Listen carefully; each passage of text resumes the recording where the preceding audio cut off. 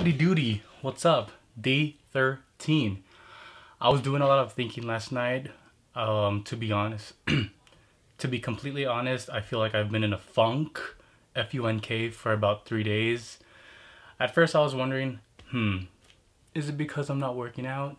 Is it because the endorphins I've been getting for the eight days straight is not in me anymore? And then I really thought, no, it doesn't deal with the working out. It is simply because I was having expectations the next day of working out. After I got my wisdom teeth taken out, I was thinking, hmm, the next day, yeah, I could probably work out. Then I couldn't. And then I thought, the next day, I could work out. Then I couldn't. So I was laying myself down every single day because I wasn't, because I couldn't work out.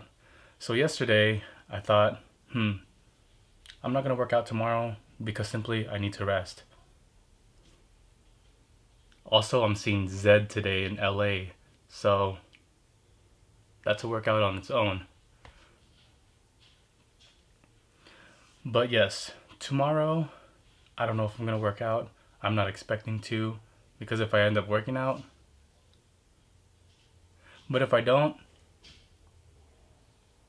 life goes on.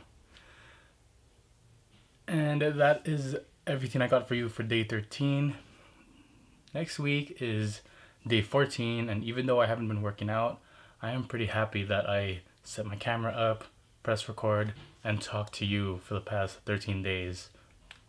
I plan on doing it for a lot. I plan on doing it for a while. I don't know how long this is gonna go on for.